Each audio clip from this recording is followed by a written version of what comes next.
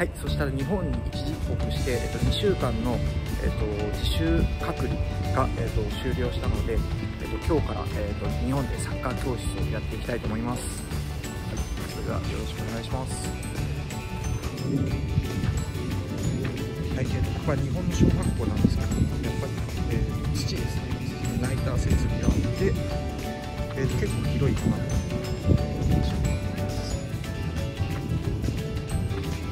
Bye.